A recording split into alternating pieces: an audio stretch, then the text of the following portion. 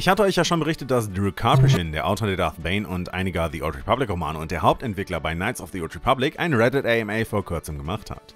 Hier hat er auch etwas über die Anfänge von KOTOR preisgegeben. So wie es aussieht, scheint das Team hinter KOTOR nämlich sehr gut auf ihre Aufgabe vorbereitet gewesen zu sein. Vor dem Release von KOTOR war die Ära der Alten Republik zwar noch nicht so mega ausgearbeitet, aber es gab mehrere Comics, die in den 90ern erschienen waren und teils Jahrhunderte bis Jahrtausende vor KOTOR spielten. Und laut Carpushin hatte das komplette Team die Comics gelesen und konnte so Hintergründe und Easter Eggs in das Spiel mit einbauen und auf der vorherigen Story aufbauen, anstatt irgendwas zu überschreiben. Und das erkennt man am fertigen Spiel auch ziemlich gut, wie ich finde.